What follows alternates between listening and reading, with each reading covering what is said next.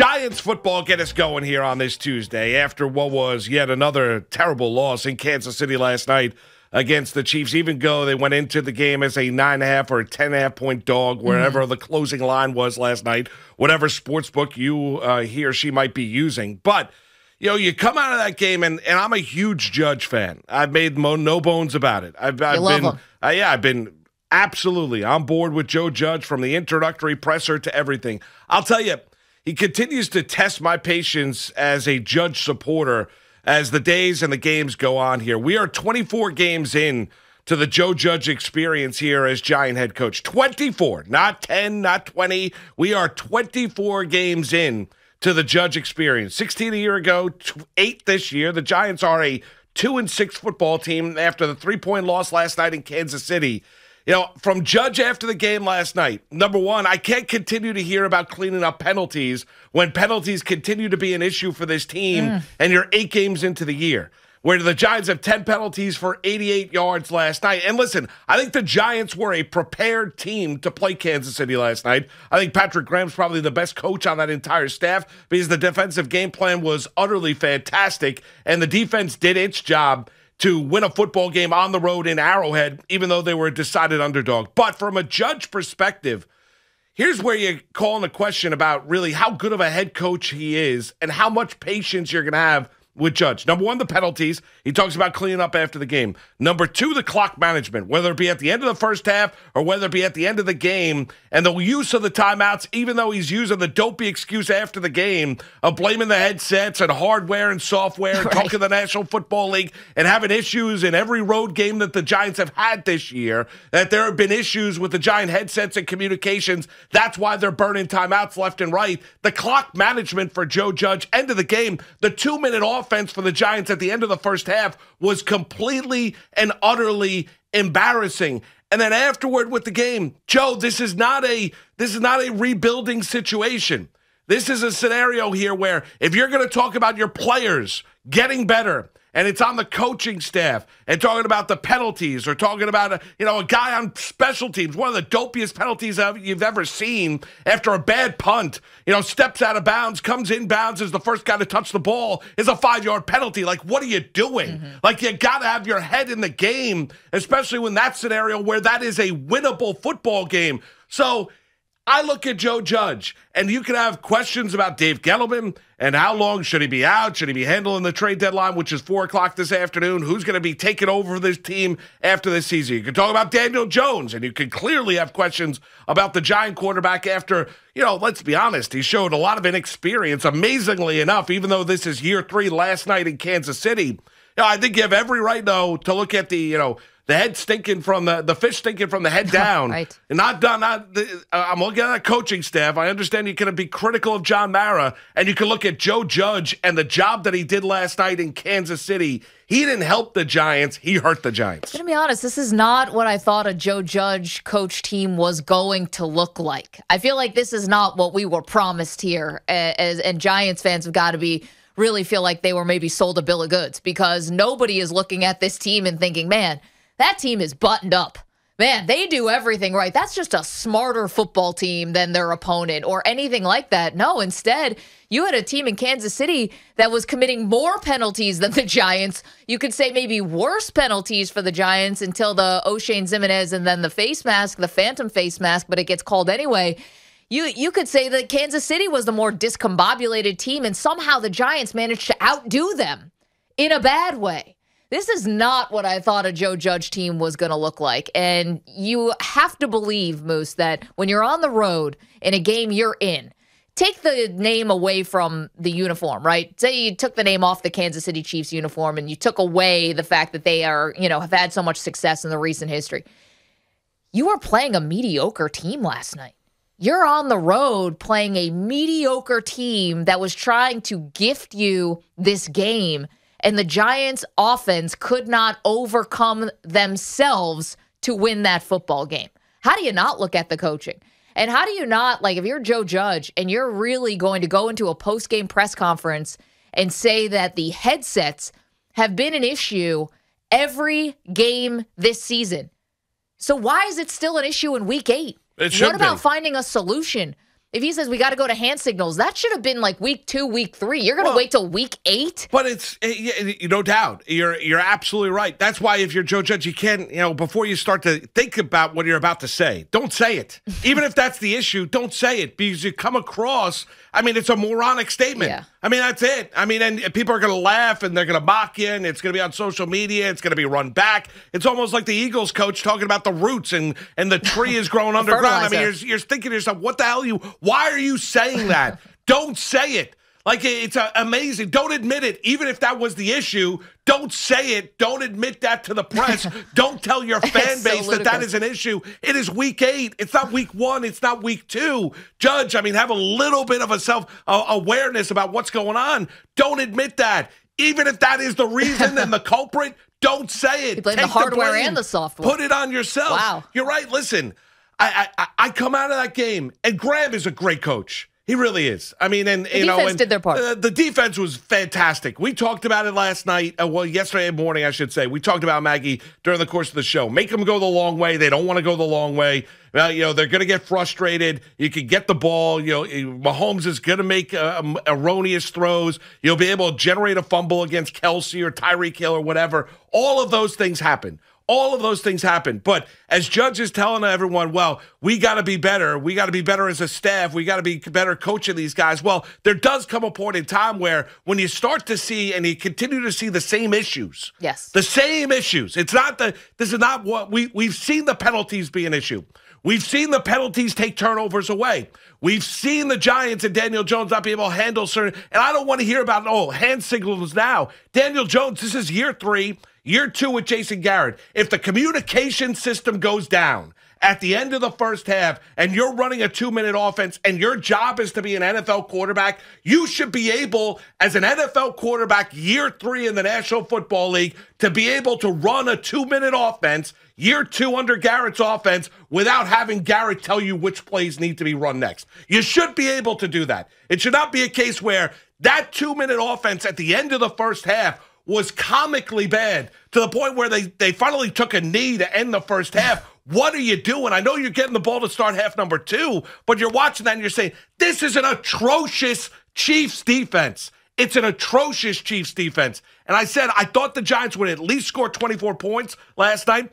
They didn't. They scored 17. Mm-hmm. They generate a turnover, amazingly enough, on the Chiefs' opening possession, where Mahomes hits McKinnon in the helmet, bounces up in the air, picked off by the Giants. Two plays later, Daniel Jones is giving it right back. The pick off by Gay as he's trying to hit Darius Slayton. Like there does come a point where you're saying, you know, get your head in the game. Yeah. Don't stare down the receiver. And for Judge after the game, no more excuses. No more lame excuses. This should be buttoned up. You were sold. We were all sold. A Belichick disciple. Everyone's talking about his personality. Be yourself. But you nailed it, Maggie. Here's the deal. You thought the Giants were going to be smarter. The Giants were going to be crisper. The Giants were going to play clean games. The Giants were going to beat themselves. You've seen none of that No. through 24 games. No, they talk a big game, but you don't through see it. 24 games here for Joe Judge. No, the the delivery is football guy, and you think that if you you know you're talking a certain way and you're saying all the right things, but then when you get to the game, you just you're, not seeing any of the evidence here. Where's the evidence from week one to now? I mean, you can go back to last season if you want. We can keep it with this season. Where's the evidence in the here and now that this is a buttoned up team? I mean, really, wh- where do we have like you know when when the real nitty gritty, when it's winning time, when it's the fourth quarter, Giants have a lead, hell, in the beginning of that fourth quarter. When it's winning time, when it's crunch time, like when are you going to show that you are the difference maker? We have one maybe 12 good minutes so far this year in terms of a tight game that the Giants end up pulling out on the road. That Saints game, right? Where Daniel Jones elevated him, himself and was like, I'm the difference and I'm going to go out and win this game for the Giants. And he basically did, right? That was the Saints game. That was nothing you got last night. I mean, he was rattled. It seemed like, yeah, from the first from the first possession. Not even rattled. Like that was just a dumb interception. And even the Mannings, like Peyton is apoplectic. First of all, every time a quarterback throws an interception, it's like a little part of the Mannings die. You know, it's just like you take a little bit of Peyton's soul every time a quarterback does something dumb. And he's talking about why is Daniel Jones just staring down the receiver? As you just mentioned, it was like old Daniel out there, you know, the one that we thought had sort of been exorcised. Those demons were gone. And now they come right back. And listen, th- there was a lot more that happened after the game. You know, during the game after that, you know, throw an interception, throw it early, right? You have a chance to, you know, better early than late, I guess. But it just set a bad tone. I'll be honest with you, Maggie. It set a we bad said you had to be almost perfect if you're going to win on the road. The offense was nothing You- but. right. You generate a pick. You're going up against a Chiefs defense that's atrocious. I mean, they are atrocious. I know they had Chris Jones and Frank Clark back last night, and both were healthy. And the Giants tackle Solder's an embarrassment. I mean, he really is. I mean, he's a terrible tackle. Well, he's over the hill. He's a swing guy. Shouldn't be starting. They severely miss Andrew Thomas. Where's the creativity if you're Garrett as a play caller? Why are you not having Daniel Jones on the run more and having him move the pocket? Why are you not making use of his athletic ability and his speed and ability to go out there and run? Why aren't you doing that? I mean, that defense was ripe for the picking.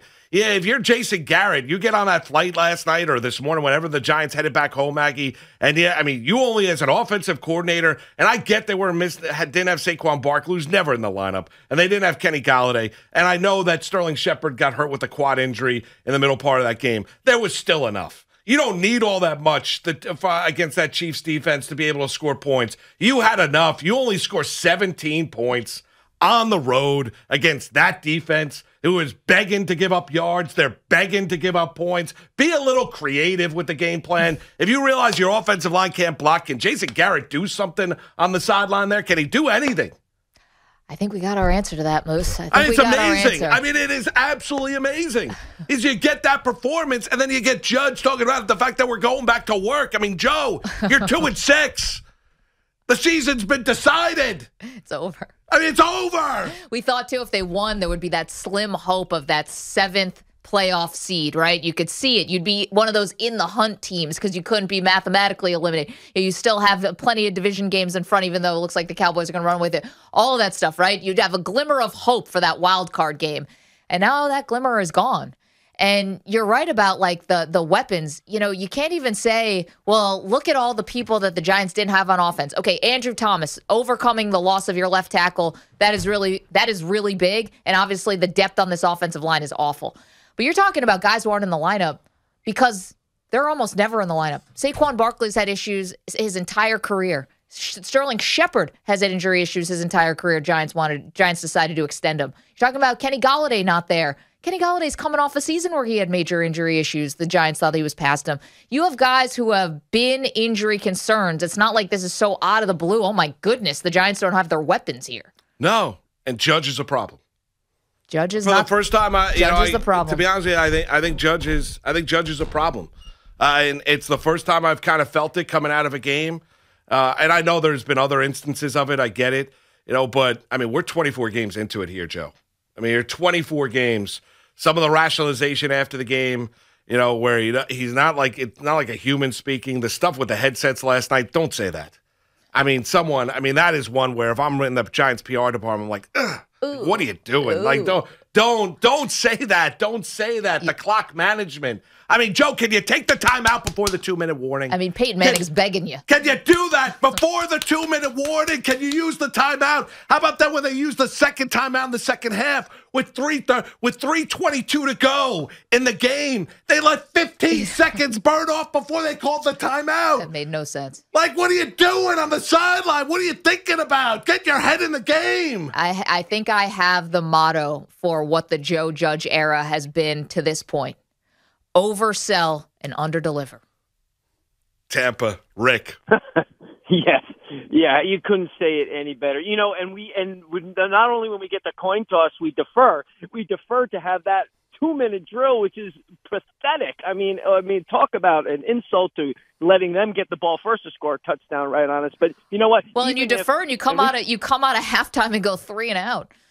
Yeah, oh, no, and and then the two minute drill. I mean, that's Yeah. just ridiculous. But the, the, we talked all week that said, you know what, they're up against it. It's it, it could be it's going to be tough for them to win ten point underdog, but to lose like that, to lose like that with this coach, I don't even want to hear him get out on his, on, on his press conferences anymore. You you have those uh, stupid, dis- undisciplined penalties, the offsides, the uh, the personal foul on that punt that Mm. where we started on the 20, we're down, you know, I know we got a 10 yard play, but I mean, things like that is undiscipline of the team is just pathetic. And I'm, I'm like Moose, I'm, I agree. I mean, I, I don't know. Joe Judge, it, it, it's, I have no answer for him. The what he's saying, go Yeah. back to work, go back to work.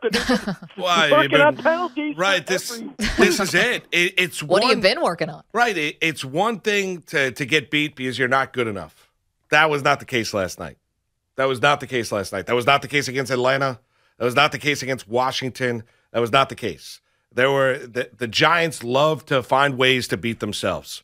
They love to find ways to beat themselves. That's what bad teams do. that is what bad teams do. New York City, Rob, what's going on, Robbie? Hey Moose, hey Maggie, how you doing? Hey, Rob. How you doing, Rob?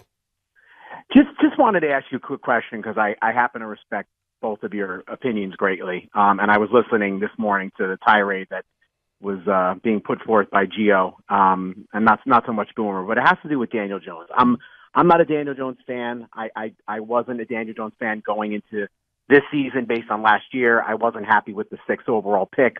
However, I have slowly kind of changed my views on him as I watched him this season, and I I, I saw a note this morning on the internet out of the eight games they've played, and I'm not sure how much you guys put into quarterback ratings, Right. but when the quarterback ratings suck, people are like, oh, you know, it's not. Look at his quarterback rating; he's awful. The quarterback rating is good. People are like, oh, it's not such a great stat. But nevertheless, out of eight games, he's over 90, 90 for a quarterback rating, six out of eight games, and Gio and Boomer were making it seem like this morning that he's like one of the main problems. And Gio basically used the word that Daniel Jones sucks. He's awful. They should get rid of him. They should go a different direction.